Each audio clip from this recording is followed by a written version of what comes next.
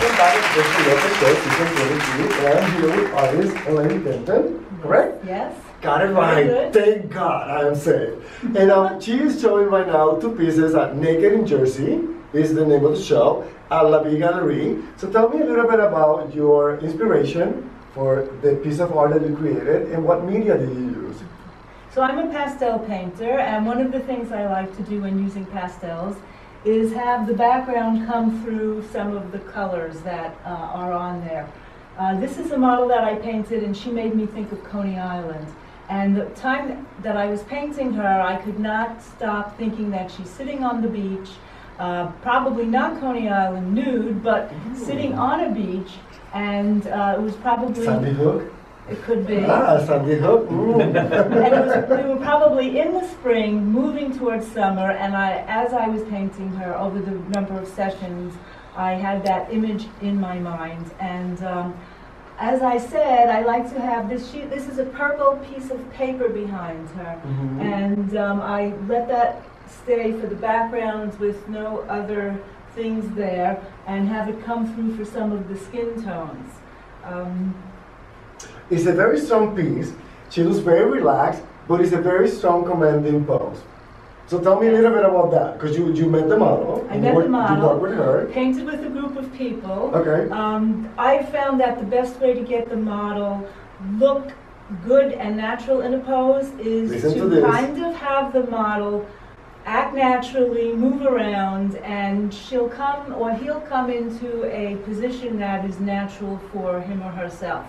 And that is more natural than as if we were to say, sit down, put your hand on your cheek or, or whatever. Or We Mhm. might give a more um, Of a direction, maybe? yeah, some direction, but generally we hope that the person is able to move around, keep the directions in mind, but move into the position in a graceful, natural way. And that is a good tip for someone you who wants to be a good model, maybe perhaps it's a new career. You know, there's a tip. So now, let's move on from this piece of art to this one. This is a total different piece of art.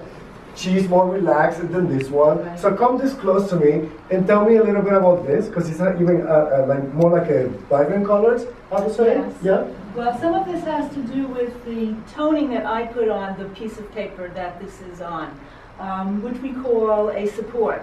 Um, it's not canvas, it can be a board, it can be a special paper, and you usually have either pumice that's on there when you buy it, or you put the pumice on yourself. So what I did here was, this paper already had some pumice on it. I took wash, which I like to work with, and toned the paper that color, and it's a fairly vibrant color, um, which I like to do.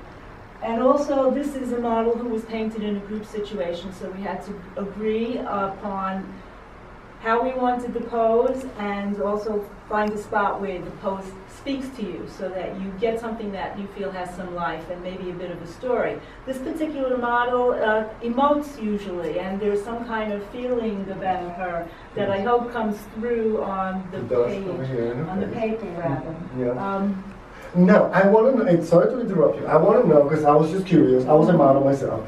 But like for those of you who doesn't know about modeling and sitting down and posing and painting and all these things, how much or how, how long this particular piece of work took you? Or what was the pose, uh, how long was the pose for this model? So I probably, I'm going to say that we had three or four sessions with this model. Um, and then something that I do oftentimes is I'll ask the model, would they take the pose in a robe?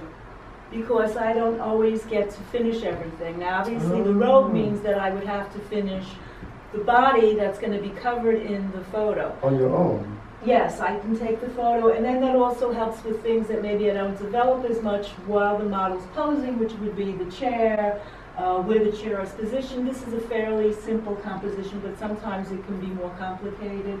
Uh, and of course, you know, you want to have as much of her face Mhm. expressing something uh, as much as possible. Which is my next question. Sorry to interrupt you again.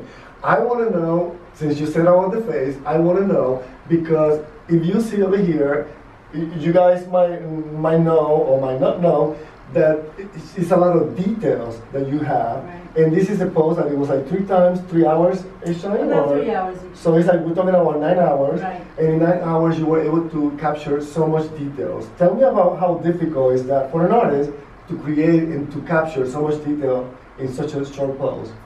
Uh, well, you know, it's for me, it's not as easy as one would hope, and it's not just the detail. Actually, it's the positioning on the paper or the canvas that's the first problem that you might encounter. Yeah. Oh, it's too low. Oh, it's too high. I'm cutting off top of the head, um, and you want to get it obviously to be where you want it to be. So that's the first part that you do. I think once you have the composition down to your liking, Mhm. the details are like the icing on the cake Yes. for me anyway, and I think for most people. Uh, so there's a lot of enjoyment in putting in the details, and and not so difficult because you're enjoying it so much. Because you're an expert. It's like we're not. Well, practice is everything. So the more you do it, the better you become. There you go. Another tip for those of you who wants to become an artist. Elaine, thank you so much for being part of the show. And we are here at the Preston Lopez Show, season 23. Okay, we'll see you next week on the all new Preston Lopez show.